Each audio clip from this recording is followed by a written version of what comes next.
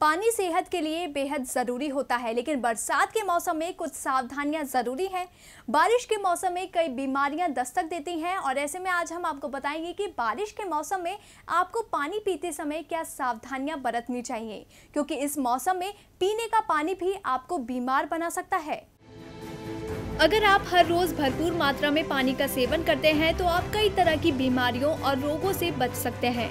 लेकिन अगर आप दूषित पानी का सेवन करते हैं तो यही पानी आपको गंभीर रूप से बीमार बना सकता है।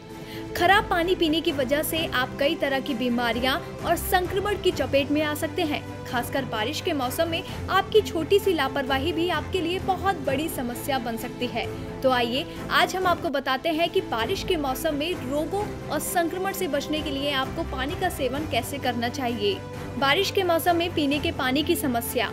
बारिश के मौसम में बैक्टीरिया, फंगस और यीस्ट तेज़ी से पनपते हैं। यही बैक्टीरिया अगर आपके खाने पीने की चीज़ों के साथ आपके पेट में चले जाएँ तो संक्रमण की वजह बन सकते हैं। ऐसे संक्रमण के आम लक्षण बुखार, खांसी, दस्त, पेट में दर्द, गले में दर्द होते हैं।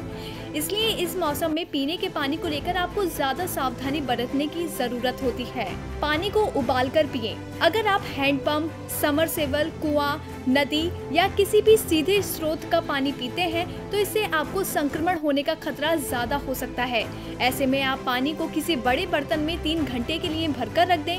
फिर जब पानी में घुले अपशिष्ट पदार्थ या दूषित पदार्थ नीचे बैठ जाए तो ऊपर का पानी धीरे धीरे निकाल लें और इसे उबाल कर ही पिए। और अगर फिर भी पानी गंदा दिखाई दे रहा है तो इसे बिल्कुल न पिए।